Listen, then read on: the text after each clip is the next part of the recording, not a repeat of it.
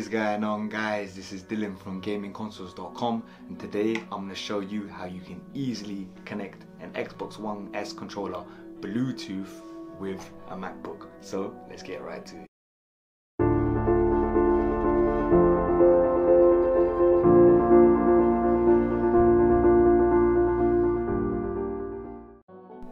Now the first step is you want to simply sync your Xbox One controller and have it ready to sync. You can easily do this by pressing the sync button here. So let me just get the autofocus good.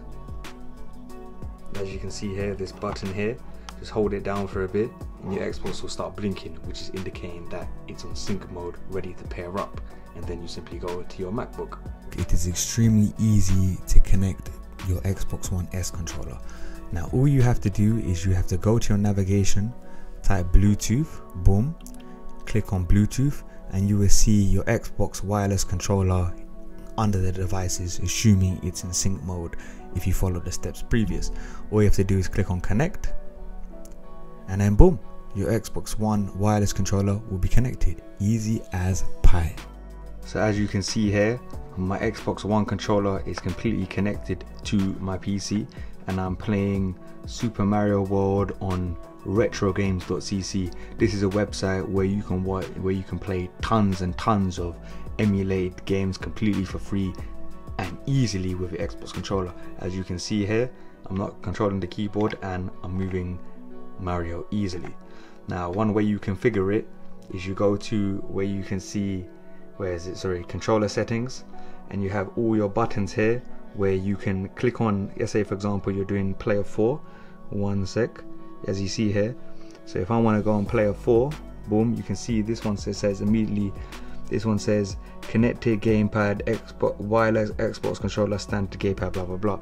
So this is already set up but if you, go, you wanted to set up yourself you simply go to player 2 you simply select one of these actions. So for example up down left or right you click on set bar and then you would press the corresponding action on your Xbox controller. So if you want X to be up or you know these uh, these up and down analog stick to mean up and down or whatever on the game, you simply do that very easily and very simply. So why would you want to use an Xbox One S controller with your computer?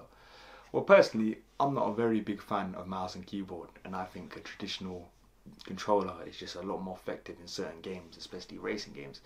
And this easily allows you to play, you know, tons of emulator games, PS2 emulator, PS3 emulator, Xbox 360 emulator. You know, there's tons and tons and tons and tons of games you can play via your computer that, in my opinion, are just a lot more effective and a lot more interesting with an Xbox controller or a PS4 controller. You know, the same thing what I said today can easily be done with a PS4 controller as well. So that's it. I hope you really enjoyed the video and I'm busy playing with your Xbox One controller and your PC. Please like and subscribe to help your boy out and I'll speak to you soon. Goodbye.